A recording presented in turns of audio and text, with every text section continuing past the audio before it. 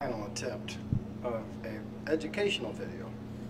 I made a board and it's very basic. I left everything exposed and did it hokey. So just to show you what's going on. This here is what people call a bootleg receptacle. There's only a two wire system, no ground.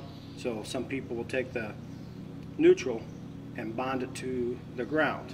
And all this is successful at doing is fooling the inspector's tester. I should have brought my tester out, plugged it in there. It would have showed that that receptacle is wired correctly. The refrigerator is plugged into that. Everything else is wired correctly, except for that one right there. One other key thing is, I have my hot and neutrals reversed. They're swapped. This is why this is dangerous, because if somebody does something like that, you end up with this.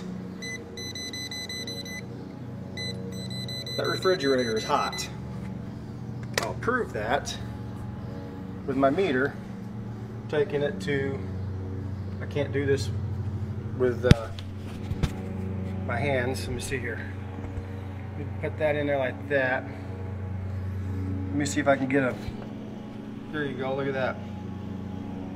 From there to ground, 123 volts. Why is my refrigerator tingling me? You get a service call.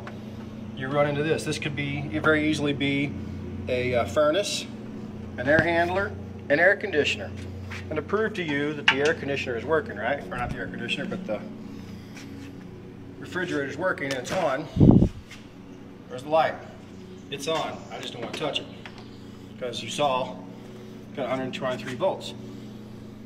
If I open up the neutral with a situation like this, the refrigerator won't work, but it will still be hot. Pretty scary. That is it.